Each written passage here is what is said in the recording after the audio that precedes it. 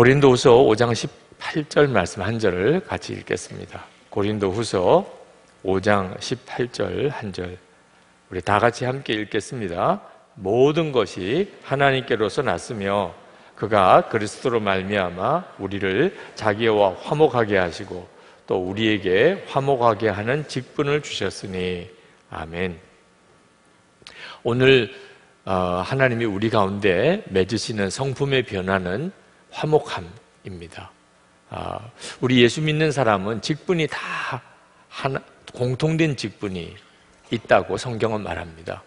우리 중에 그죠? 집사님도 계시고 권사님도 계시고 장로님도 계시고 전도사님도 계시고 또 목사도 있고 또 간사님도 있고 다 직분이 있지만 모든 그리스도인들은 다 한 가지 공통된 직분이 있는데 화목하게 하는 직분 여러분에게 있는 직분입니다. 여러분이 아, 다 화목하게 하는 직분을 가진 사람. 그래서 그 사람이 그리스도인입니다. 아, 우리는 이 화목한 것에 대해서 너무나 간절한 사람들입니다. 우리 일제시대를 거치고 6.25 동란을 지나고 하면서 평화가 얼마나 중요한지를 절절히 우리 민족은 알고 있죠. 어, 제가 어릴 때 교회 안에서 어른들이 싸우는 걸 보았어요. 그 어린 시절에 경험했던 것이 가슴에 이렇게 지금도 딱제 아, 가슴 속에 아픔으로 남아 있는데 그래서 저는 교회 안에서 서로 화평하게 화목하게 지내는 것에 대해서 너무너무 중요하게 생각하는 그게 저의 소명이 되었습니다. 그러니까 싸우지 않는 거죠. 여러분들 중에도 어려서 부모님이 싸우는 걸 보고 자란 사람들은 가정이 화목하면 좋겠다. 제 어린 시절에 뭐 좋은 음식 못 먹어도 좋고 또 좋은 집 아니어도 좋고 엄마 아빠가 안 싸우면 좋겠다. 그게 그 어린 시절의 마음의 소원이었어요. 근데 가만히 왜 엄마 아빠가 싸우나 하고 들어보니까 우리에게 좋은 음식 먹이고 좋은 옷 사주고 공부를 많이 시키고 싶으신 것 때문에 싸우시더라고. 대부분 재정 문제 때문에 싸우시더라고. 그 참 모순이죠. 우리는 그저 화목하게 지내는 것이 그 어떤 것보다도 더 좋더라고요. 그러니까 우리는 다 화목한 게 얼마나 좋은 건지 다 아는 사람들입니다. 그런데 참 묘하게 이 평화를 위해서 전쟁을 하는 이 모순이에요. 뭐 일본이나 독일이나 아, 그들이 세계 전쟁을 일으켰던 나라들인데 그들이 세계 전쟁을 일으킬 때 명분이 뭐냐면 평화였어요. 이런 참 모순이 우리에게 있어요. 그러니까 평화를 원하고 화목을 필요하다고 깨달았다고 그래서 화목하게 사는 게 아니라는 겁니다. 그 어떻게 하면은 화목해지는 거죠? 전적으로 성령의 역사라는. 그래서 화목함이 성령의 열매인 것입니다. 이 점을 알지 못하면 그러면 우리 평화롭게 살자고 전쟁을 벌이는 어리석은 사람이 되어버리고 맙니다. 진정한 평화는 성령께서 주시는 겁니다. 에베소서 4장 1절에서 3절까지 말씀을 제가 읽겠습니다. 그러므로 주 안에서 같이 내가 너희를 권하노니 너희가 부르심을 받은 일에 합당하게 행하여 그 모든 겸손과 온유로 하고 오래 참음으로 성령 가운데서 서로 용납하고 평안에 매는 줄로 성령이 하나 되게 하신 것을 힘써 지키라. 어, 여러분 정말 하나가 될 수 있을까요? 될 수 있죠. 네. 천지를 지으신 하나님이 그걸 못 하시겠어요. 이건 굉장히 중요한 믿음의 싸움이에요. 과연 우리가 하나 될 수 있을까? 될 수 있죠. 그건 너무 당연한 거죠. 오병기 기적도 행하시고, 그죠? 우리 포도주가 되게 하신 주님이신데, 우리를 하나 되게 하시는 일을 왜 못 하시겠어요? 그러니까 여러분 오늘 이 시간에 여러분 안에 아, 이 믿음의 치유가 있기를 원합니다. 하나 될 수 있어. 하나 될 수, 얼마든지 하나 될 수 있어. 예, 우리 보고 하라 그러면 못하지만, 성령님께서 해주신다는 그게 성령의 열매예요. 성령님께서 해주신다는데 가능하지요. 물론이지요. 이런 믿음이 우리에게 있어야 합니다. 그리고 에베소서 4장 3절에 보면 성령의 하나 되게 하신 것이라고 그랬어요. 앞으로 하실 게 아니고 이미 성령의 하나 되게 하신 것. 우리는 예수 믿는 사람들이라면 우리는 이미 성령의 하나 되게 하신 것에 해당됩니다. 이미 이루어진 일이에요. 하나가 되는 것은 이미 이루어진 일이에요. 우리가 할 일은 지키는 거예요. 하나 되게 하신 것을 힘써 지키는 거예요. 그러니까 하나가 될 수 있을까? 어떻게 사람들이 다 생각이 다른데 어떻게 하나 될 수 있어? 이건 굉장히 무서운 불신이에요.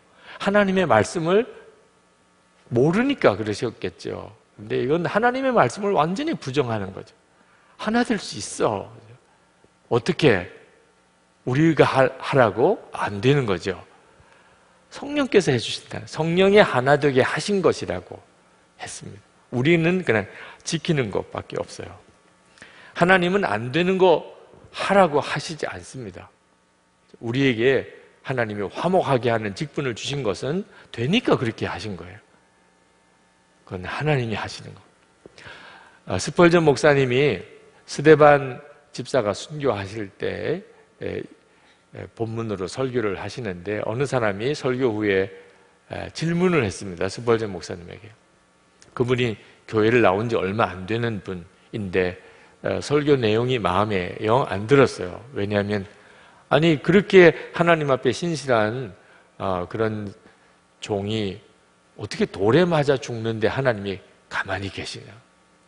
그래서 스펄저 목사님에게 아니 하나님이 진짜 살아 계시다면 어떻게 스데반 집사가 돌에 맞아 죽게 내버려 둘 수 있겠냐? 도대체 그때 하나님은 뭐 하셨냐? 이렇게 질문을 했어요. 그때 스펄저 목사님이 대답하기를 스데반 집사의 마음에 자기에게 돌을 던지는 자를 사랑하고 용서하고 사랑하는 마음을 부어 주셨습니다. 그렇게 대답했던 일화가 있어요. 여러분 스데반 집사님은 그 사람이 훌륭하기 때문에 돌에 맞아 죽는 순간에도 어, 그 사람들을 위하여 기도하고 용서했던 것이 아닙니다. 성령의 역사예요. 여러분 손양호 목사님이 두 아들 죽인 어, 그 원수를 양자 삼았던 것도 전적으로 성령의 역사예요. 성령께서 그렇게 하신 겁니다. 이건 우리에게도 동일해요. 지금도 우리를 여기까지 오게 하시고 또 이게 기도하게 하시는 분이 성령이시잖아요. 그 성령님은 스데반 집사처럼 또는 손양원 목사처럼 우리를 그렇게 만드시는 분이에요. 얼마든지 그렇게 하실 수 있겠죠? 네. 아, 나는 안 될 거예요. 제가 보통 사람이 아니거든요. 이런 분은 없지요? 네. 주님이 하십니다. 여러분들이 그걸 정말 믿을 때 주님이 하십니다. 나를 변화시키셔서 나도 어떤 사람과 화목하게 하실 수 있습니다. 여러분이 그렇게 믿으시면 주님이 역사하세요. 이게 믿음의 문제예요. 하나님은 그분이 어떤 분이시냐면 하나 되신 분이라고 말씀하셨어요. 에베소서 4장 4절, 5절, 6절에 보면 몸이 하나고 성령도 한 분이시니 이와 같이 너희가 부르심에 한 소망 안에서 부르심을 받았느니라. 주도 한 분이시요 믿음도 하나요 세례도 하나요 하나님도 한 분이시니 곧 만유의 아버지시라. 만유 위에 계시고 만유를 통일하시고 만유 가운데 계시도다. 우리가 믿는 하나님은 하나이신 하나님. 그러니까 화목하고 하나 되는 일은 하나님의 역사예요. 그 말은 뒤집어서 이야기하면 분열하고 싸우는 일은 마귀의 역사라는 겁니다. 여러분이 이 사실을 명확하게 아셔야 돼요. 속으시면 안 됩니다. 많은 사람이 속아요. 교회를 위해서 한다고 그러고, 그리고 당신을 위해서 내가 말을 해준다고 하면서 싸우고 다퉈요. 이건 완전히 속는 거예요. 이게 하나님의 일이라면 하나 되게 한, 만약에 분열되는 거라면 마귀의 역사예요. 아우, 내가 옳은 것을 위해서 했다. 우리가 옳은 길로 가야 되기 때문에 그렇게 했다. 여러분, 정말 여기서 이제 미혹을 받으시면 안 됩니다. 결과가 하나가 되었다면 하나님의 역사요. 분열되고 깨어졌다면 마귀의 역사라는 거. 그 광명교회 조연산 목사님 아, 그렇게 교인들이 싸우길래 답답해서 물어봤대요. 왜 이렇게 싸우시냐고. 그랬더니 장로님이 에, 그렇게 이야기하시더래요. 목사님 다 잘해 보자는 거 아니겠습니까? 그래서 목사님이 깨달았대요. 아, 교인들이 잘해 보자고 싸우는구나. 그래서 그 다음부터 우리 잘하지 맙시다. 우리 절대 잘하지 맙시다. 잘하지 맙시다. 어느 봉사팀이든지 부서든지 절대 우리 잘하지 맙시다. 다 교인들이 잘하자고 싸우더라는. 이 기가 막힌 모순을 이해할 수 있겠습니까? 우리도 정신 똑바로 차려야 돼요. 결국은 싸웠다면 완전히 미혹을 받은 겁니다. 영적인 분별이 정말 중요해요. 어느 분이 저에게 아, 제가 전에 목회하던 교회에서 아, 찾아오셔서 이야기를 하나 하시더라고요. 자기가 교회에 나왔는데 아, 뭐 너무 문제가 많더라는 거예요. 장로님들도 문제가 너무 많으시고 그래서 자기가 주일 예배 때 목사님이 광고하도록 한번 기회를 달라는 자기가 나와서 어, 이 교회 중직들 문제가 많은 여러 가지 일들을 내가 폭로하고 자기는 교회를 떠나도 좋다는 목사님을 목사님은 마음이 작게서 말을 못 하시는 것 같은데 자기가 대신해서라도 이야기를 하겠다고 제가 고마웠을까요? 아, 집사님이 저희 구세주군요. 그랬을까요? 집사님 절대로 그렇게 하시면 안 됩니다. 그건 완전히 미혹입니다. 그건 집사님도 완전히 믿음 잃어버리는 거고 교회도 완전히 마귀가 춤추게 만드는 일입니다. 네, 고집을 안 꺾으세요. 자기가 그렇게 말하지 않으면 자기라도 나가겠다는. 결국 저는 그 집사님이 나가시도록 허락할 수밖에 없었어요. 어, 이건 굉장히 중요한 문제예요. 여러분이 어떤 옳은 일을 이렇게 처리를 해야 될 때, 그때 꼭 기억해야 될 것이 철저하게 예수님께서 원하시는 방법으로 가야 한다는 거예요. 그 예수님이 원하시는 방법이 하나됨을 지켜가면서 옳은 길로 가는 거예요. 마치 우리가 수술을 받으러 병원에 갔을 때 내 몸에 암이 있거나 하더라도 의사가 어떻게 우리를 수술합니까? 내 생명을 지켜가면서 수술하는 거죠. 아, 암덩어리는 제거했는데 덜컥 내가 죽었다면 그좀뭐 때문에 수술을 했어요? 그죠? 똑같아요. 암 도려내죠.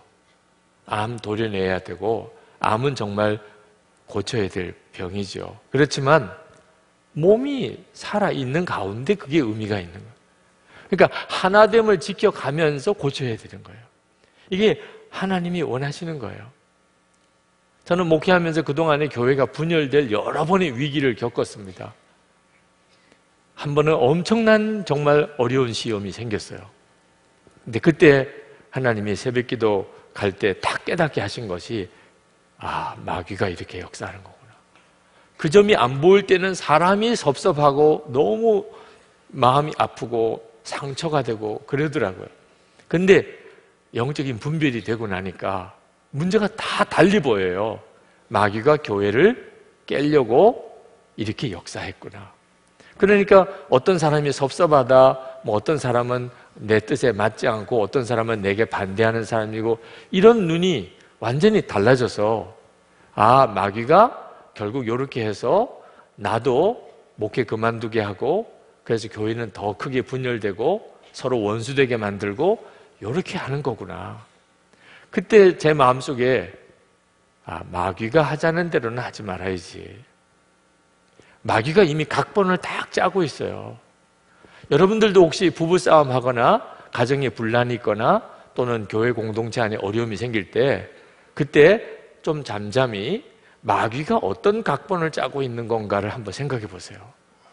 그러면 우리가 아주 무슨 뭐 영안이 늘 열려 있는 사람이 아니라도 다 알 수 있습니다. 마귀가 이런 형태로 진행시키겠구나. 그때 제 마음속에 아, 마귀가 하는 각본에 완전히 반대로 해야 되겠구나. 그래서 제 고집 또 제 제가 뭘 하려고 했던 어떤 제 의지, 제 목회 방향 다 포기했어요. 네, 그런 것 때문에 서로 의견이 안 맞아서 자꾸 다투시니까 제가 다 포기하면 되죠. 저하고 반대쪽에 있었던 분들 의견대로 그냥 100% 따라하기로. 근데 그때 제가 알았어요. 제 편이 되어 주셨던 교인들 속에도 마귀가 역사하고 있다. 아, 목사님 그러면 안 돼요. 그 사람들 쫓아내요. 이번 기회에 완전히 그 사람들 제거하고 그리고 목사님 중심으로 우리 교회가 똘똘 뭉쳐서 제가 분별을 못했으면 용기 백배 했을 거예요. 야, 내 편이 이렇게 많구나. 완전히 속을 뻔했어요. 아, 그 속에도 무서운 마귀가 역사하고 있구나. 그래서 제발 그렇게 하지 마시고. 이건 완전히 속는 것이라고. 저를 믿으신다면 끝까지 믿고 기도만 해달라고. 그게 해결되기가 3개월이 걸렸어요. 3개월 지나서 하나님이 완전한 승리를 주셨어요. 그래서 교회가 놀라우게 하나가 되는 아, 역사가 일어났어요. 여러분, 옳고 그런 것에 따지는 것에 속으면 안 돼요. 바로 해야 됩니다. 교회는 하나님이 기뻐하시는 길로 바로 가야 돼요. 잘못된 것은 고쳐야 됩니다. 그러나 꼭 기억해야 돼요. 하나 되게 하는 것을 지켜가면서 할 수 있어요. 절대로 싸우고 분열하고 갈라지는 방법으로만 해결되는 거 아닙니다. 하나됨을 지켜가면서 얼마든지 할 수 있다. 이것이 바로 성령의 역사예요. 여러분, 우리가 정말 힘들 때 어, 하나님 내가 얼마나 상처를 받고 어려움을 겪었는지 아십니까? 이런 어려움이 생겼을 때 그때일수록 여러분이 더욱 주님을 의지해야 합니다. 제가 한번 그 미국이 급속히 자유주의 신학의 교회들이 이렇게 물들어가는 것 때문에 마음이 이제 참 안타까운 가운데 있었는데 미국 교회사를 이렇게 같이 공부하다가 깜짝 놀라는 걸 발견했어요. 그 미국 어, 신학교에 자유주의 이제 신학을 하신 교수님들이 이제 신학교에 부임해 오시는 일이 한 분, 두 분 생기면서 이제 극심한 이제 보수 신학, 자유 신학의 갈등이 벌어지기 시작을 했는데 어, 그때 어, 보수주의 신학자들이 어, 결별을 선언을 합니다. 어, 우리는 당신들과 함께 할 수 없다. 그래서 어, 신학교에서 나와서 새로 신학교를 만들어요.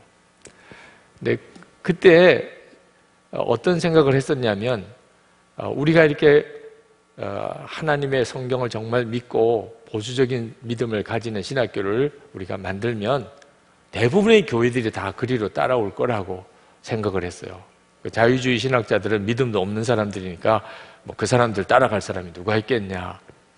근데 결과는 대부분은 다 그냥 그 신학교 그 교단에 남고 뛰쳐나온 사람들만 소수가 되어버렸어요. 그 다음에는 급속도로 신학교는 자유주의 신학의 그냥 방향으로 확 가버리고 말았어요. 이미 뭐 신학교 안에서 건강한 신학의 방향을 서로 토론하고 또 서로 분별도 하고 서로 같이 그 자리에 있어 줘야 되잖아요. 그렇죠? 마음에 안 드는 사람이라도 어, 서로 같이 진지하게 학문적으로 토론하고 검증하고 어, 그렇게 해 가면서 지켰으면 아마 미국 이 그렇게 빨리 자유주의 신학에 물들지 않았을 텐데 너무나 빨리 그냥 분열돼서 나왔기 때문에 아, 주류 신학교들 또 큰 대학의 신학교들은 대부분 다 자유주의 신학이 되었어요. 여러분 정말 기도 많이 해야 합니다. 도무지 함께 할 수 없어요, 저 사람하고는. 이런 문제가 생겼을 때 말씀에 들어가야 돼요. 하나님이 우리에게 주신 직책이 화목하게 하는 직책입니다. 교회는 한 몸이에요. 그리고 바로 가야 하는 겁니다. 우리가 이렇게 화목하게 하려고 할 때 오히려 공격을 받을 때도 있어요. 팀 켈러 목사님이 어, 자기가 알던 한 백인 가정 이야기를 했습니다. 그분이 어, 미국 그 중부의 어느 마을에 에, 대부분 다 백인인 마을입니다. 네, 어느 흑인 한 가정이 그 마을에 이사를 왔어요. 네, 이분이 그 흑인 가정을 굉장히 따뜻하게 맞아주고 친구가 되어주고 그렇게 잘 그분들을 도왔어요. 그랬더니 주변에 있는 백인 가정에서 굉장히 격렬하게 어, 항의를 하더라는 겁니다. 왜냐하면 그 마을은 전통적으로 그 이 백인 아닌 사람들이 들어오면 어떻든지 그 사람들을 이렇게 내 쫓는 분위기였어요. 근데 흑인 가정이 들어왔는데 그 사람을 따뜻하게 맞아주니까 한 가정이 다른 사람들이 엄청 불편해진 겁니다. 그래서 왜 당신들이 그렇게 해서 우리들 힘들게 하느냐 그런 어려움이 있었던 이야기를 책에서 하셨어요. 여러분 사랑하고 하나 되려고 할 때 오히려 공격이 옵니다. 다 환영해 주는 게 아니에요. 우리 하나 됩시다. 그럴 때 공격이 와요. 각오해야 돼요. 하나 되는 자는요, 정말 핍박을 당할 각오를 해야 돼요. 마틴 루터 킹 또는 링컨 대통령 이런 분들이 다 암살을 당했잖아요. 그분들이 주장했던 게 뭐냐면 흑인과 백인 하나다. 우리 서로 화목하자. 그게 미움을 사는 거예요. 그러니까 화목하게 하는 이 직분은요, 정말 순교의 각오가 필요해요. 참 모순이죠? 화목하자는데 사람들이 증오하는 거예요. 우리 마음속에, 사람들의 마음속에 진정한 의미에서 서로 나하고 다른 사람과 화목하고 싶은 마음이 없다는 거예요. 이게 타락한 사람의 본성인 거죠. 그러니까 이 화목하게 하는 일은 우리의 힘으로 할 수 있는 일이 아니에요. 전적으로 주님이 역사하셔야만 화목하게 하는 이 일을 감당할 수 있어요. 그러니까 우리가 예수님을 진짜 제대로 믿는지 안 믿는지를 이걸 보고 아는 거예요. 화목하게 하는 일을 하는 사람, 그 사람이 하나님의 자녀예요. 그 사람이 예수님이 정말 그 마음의 중심의 왕인 사람이에요.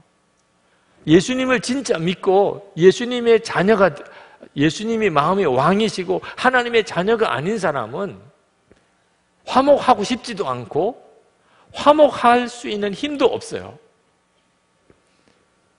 교회 안에 싸움이 많고 교회가 자꾸 갈라지고 이 교파도 많은 게 너무 안타까운 일이에요.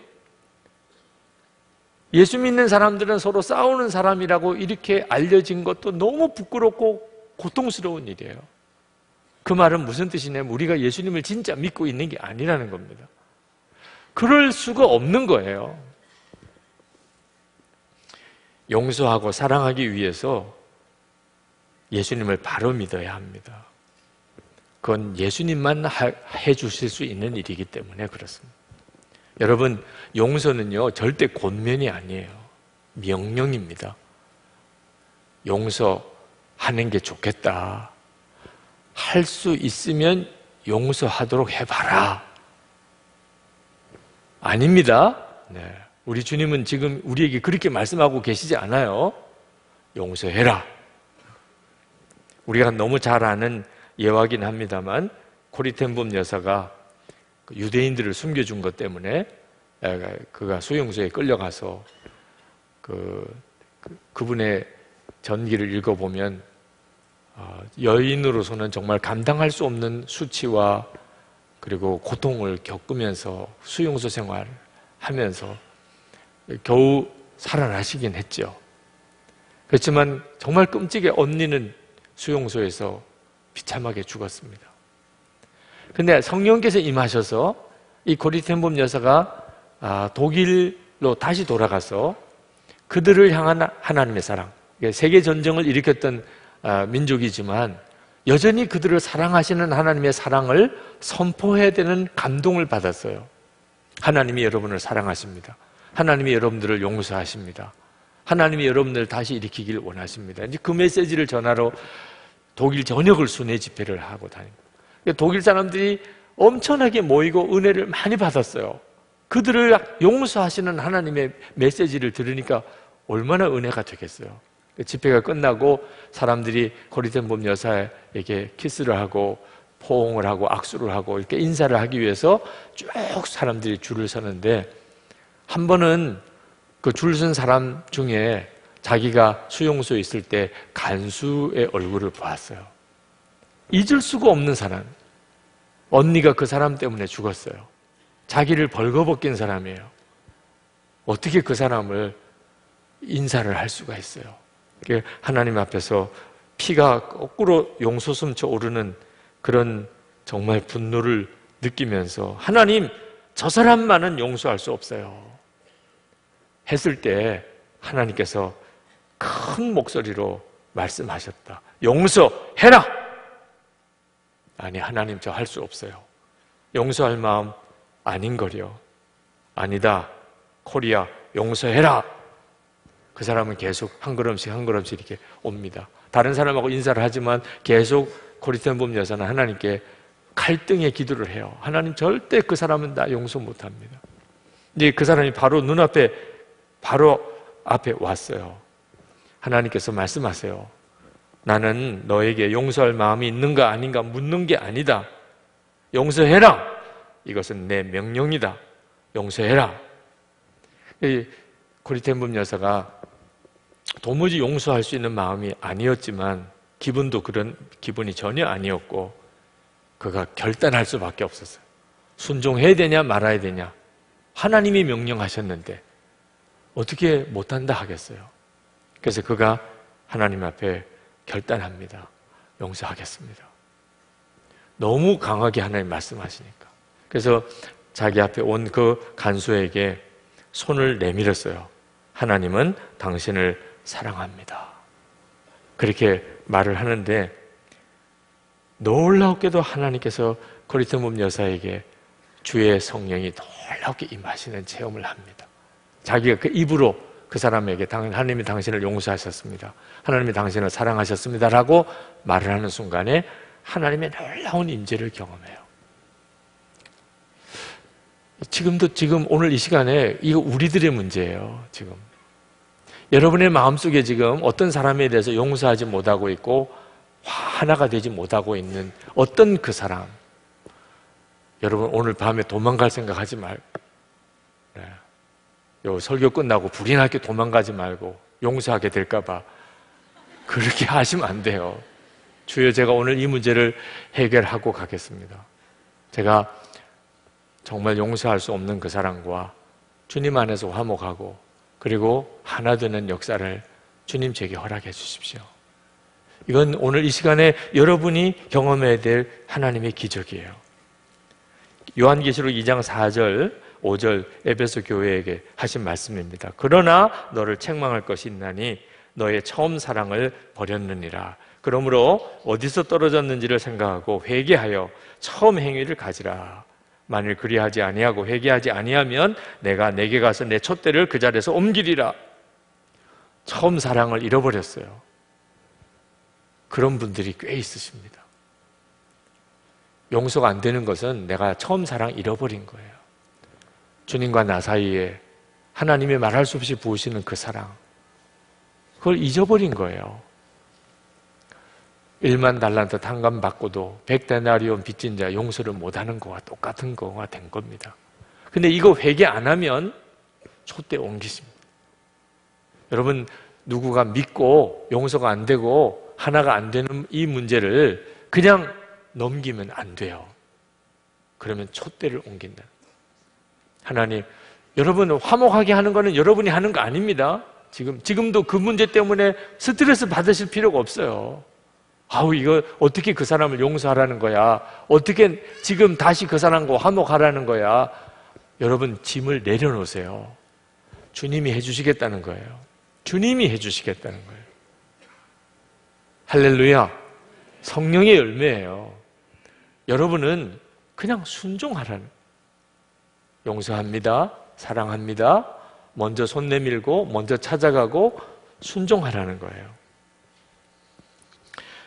마태복음 5장 9절에 화평케 하는 자는 복이 있나니 저희가 하나님의 아들이라 일컬음을 받을 것이며 하나님의 자녀는 화평케 하는 자입니다.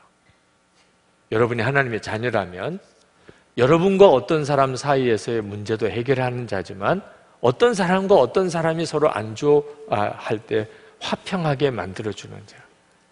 그 역할도 해야 한다. 이번 기회에 갈라져. 깨끗하게 갈라져.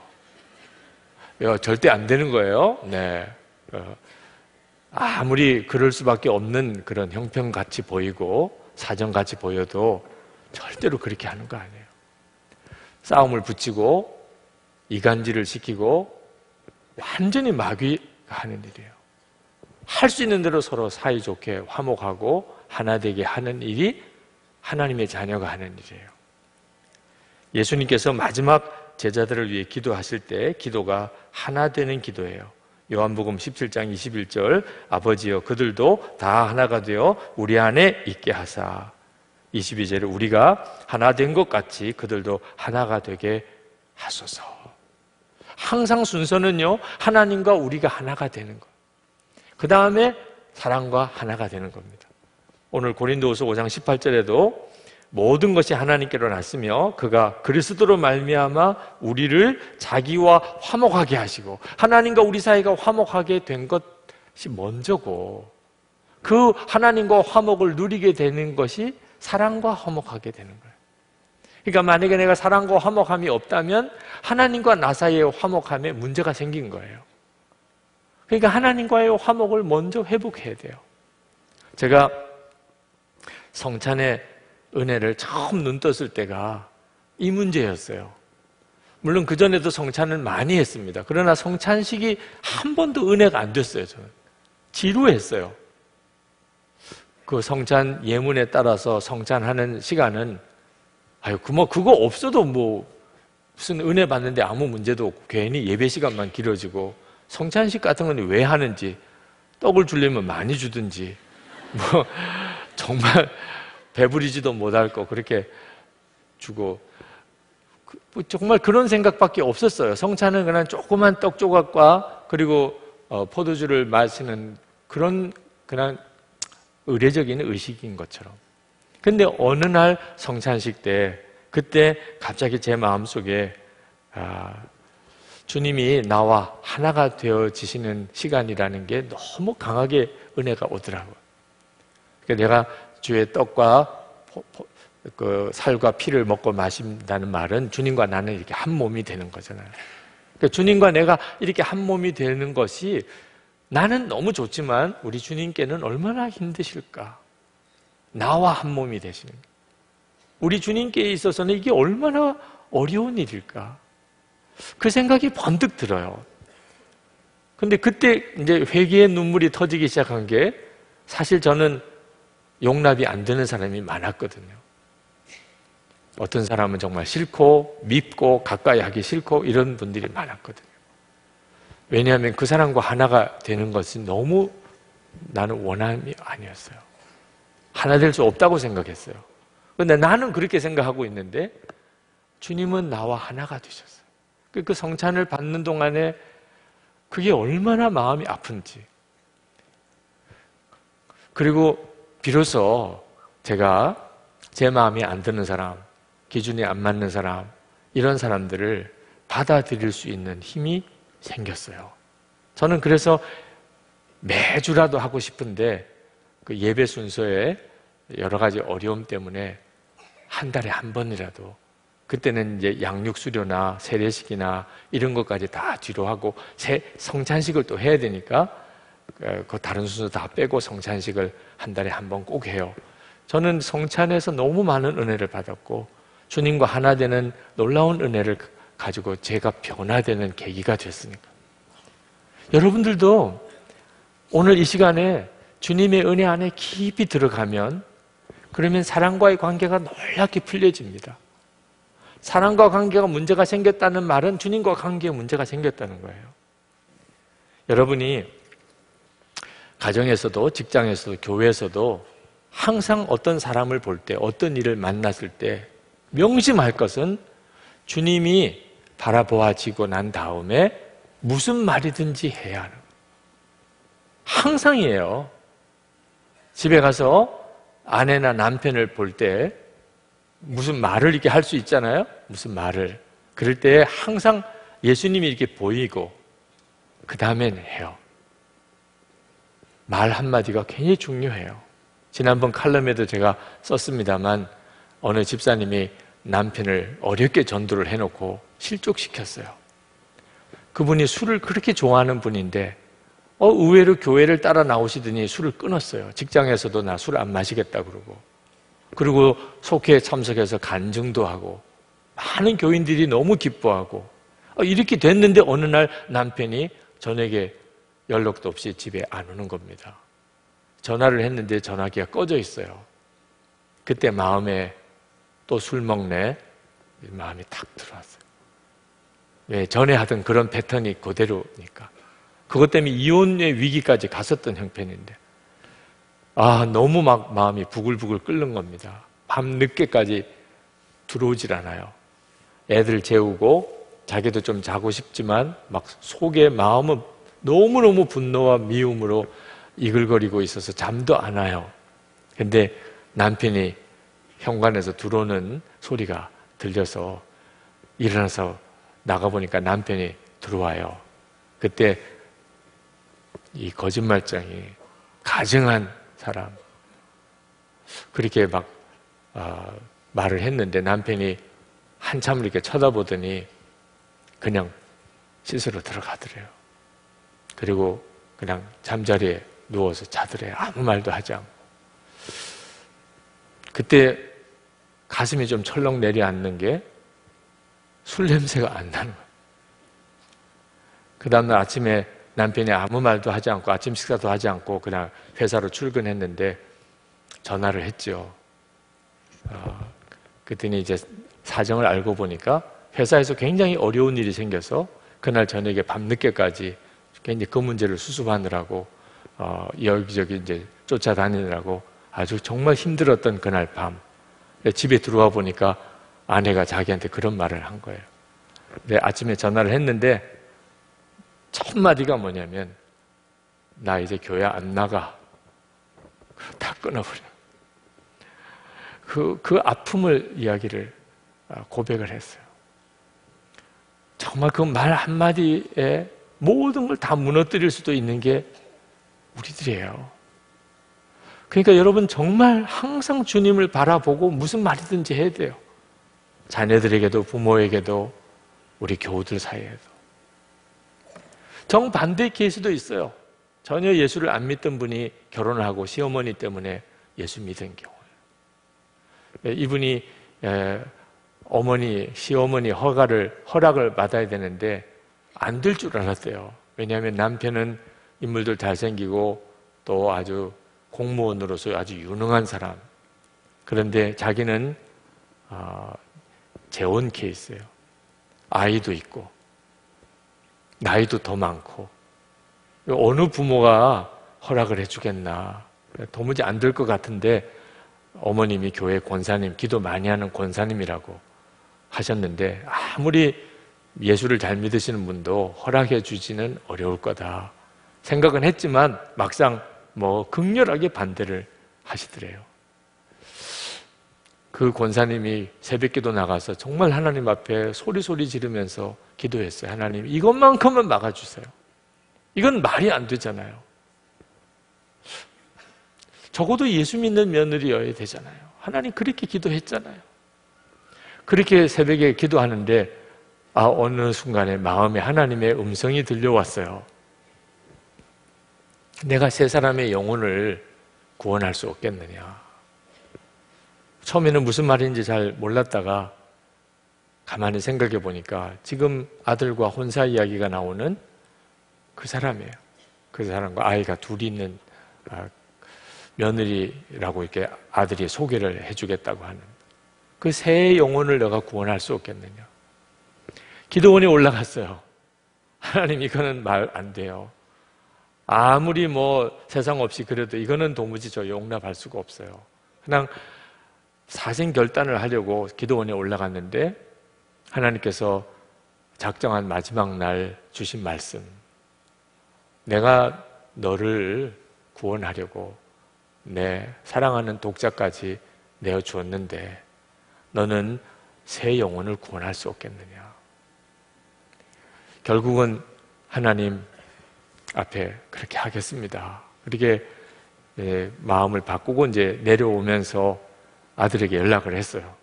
그 내가 데려올 여자를 만나보겠다고. 근데 마음에 이미 작정을 했죠. 네, 인사를 하러 온 날 가서 끌어안아줬어요. 잘 왔다. 첫 마디가 잘 왔다. 너 보는 순간에 내 며느리라고 마음에 확 확신이 온다. 끌어안아줬어요. 그 얼마나 참 놀라운 일이에요. 그리고 예수를 믿기로. 혹시 이 자리에도 와 계신지 모르겠네. 네. 우리 부목사님이 너무 귀한 케이스라고 저에게 말씀을 해주시더라고. 시어머니 때문에 예수를 믿고 교회 열심히 이렇게 나오시게 됐다는 거죠. 주님을 바라보면 도무지 할 수 없는 일을 하게 하세요. 그 일이 대표적인 게 바로 화목하게 하는 일입니다. 예. 여러분 오늘 이 시간에 주님 제가 저 자신의 성격이나 성질 어, 제 그동안에 살았던 걸 생각하면 저 절대로 화목하게 하는 직분을 맡았다고 할 수가 없습니다. 나도 미운 사람도 많은데 어떻게 내가 화목하게 하는 직분을 감당할 수 있겠습니까? 그러나 제가 아니고 주님이 그렇게 해주신다니 제가 그렇게 하겠습니다. 주님 저를 통해서 정말 사람들을 화목하게 하는 역사를 이루십시오.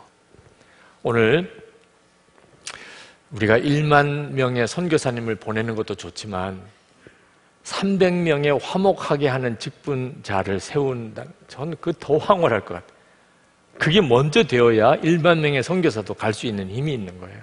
선한 목자 교회에 화목하게 하는 직분을 가진 사람 300명, 300용사만 서도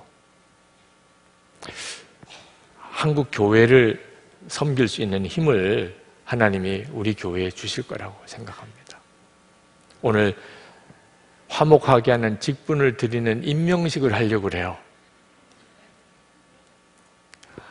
물론 뭐 억지로 다 드리는 건 아닙니다.